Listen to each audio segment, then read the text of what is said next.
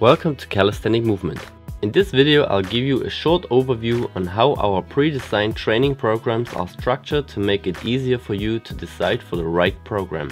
Here you see the exercises which are included in the second intermediate training program which is the level 5 program. For some exercises we included optional choices to serve different interests. In this program we included some more effective advanced bodyweight exercises like pseudo planche push-ups, archer pull-ups, toes to the bar and pistol squats. The plan is divided into three different workout days with four training sessions per week and gives you two choices of the training scheme. The first has 21 and the second 24 training days in 6 weeks.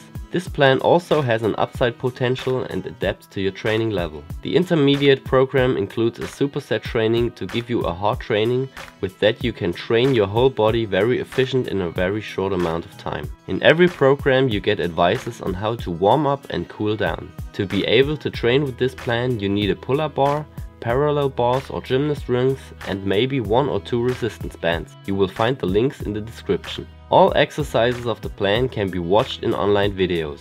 They show you the correct execution and give you different hints.